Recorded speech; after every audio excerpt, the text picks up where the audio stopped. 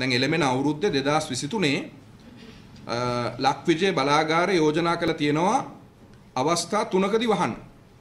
දින 100කට වහන්න යෝජනා කළ තියෙනවා යුනිට් 3 එක ලෙවල් A මේන්ටෙනන්ස් එකක් වෙනුවෙන් මම නේ කියන්නේ මේ විදුලි බල මණ්ඩලයේ නිලධාරීන් අපිට දීලා තියෙන ලේඛන යුනිට් 3 එක ලෙවල් A මේන්ටෙනන්ස් එකක් වෙනුවෙන් දින 100කට සැප්තැම්බර් මාසේ 20 වෙනිදා සිට දෙසැම්බර් මාසේ 31 වෙනිදා දක්වා 2023 වසරේ වසා දැමීමට යෝජනා කළා තියෙනවා. යුනිට් 1 එක ලෙවල් C මේන්ටනන්ස් එකක් වෙනුවෙන් දින 30ක් වෙනුවෙන් මැයි මාසයේ සිට ජුනි මාසය දක්වා වහන්න යෝජනා කළා තියෙනවා. යුනිට් 2 එක ලෙවල් C මේන්ටනන්ස් එකක් වෙනුවෙන් තවත් දින 30කට ජුනි මාසයේ සිට ජුලි මාසය දක්වා වසා තැබීමට යෝජනා කළා තියෙනවා.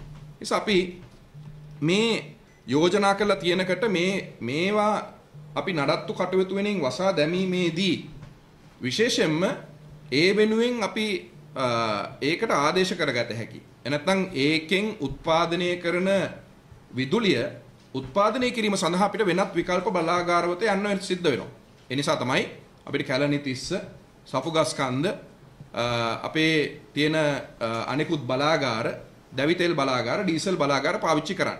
ඒ නිසා පළමුවෙන්ම කිව යුතුයි කිසි ලෙසකින් අපි බලාගාර තුනේම කටයුතු අක්‍රිය කරන්න එකවර අක්‍රිය කරන්න කිසි ලෙසකින් බලාපොරොත්තු වෙන්නෙත් නැහැ. එහෙම අවශ්‍යතාවයක් ඇති වෙන්නෙත් නැහැ.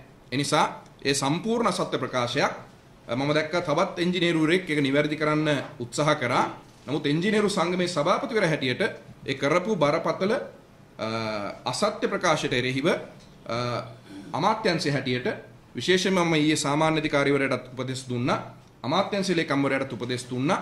නීතිපතිවරයාගේ පවා උපදෙස් අරගෙන ඔවුන්ට විරුද්ධව කටයුතු කරන්න පුළුවන් උපරිම විනයානුකූල සහ නීත්‍යානුකූල පියවර ගන්න කියන එක.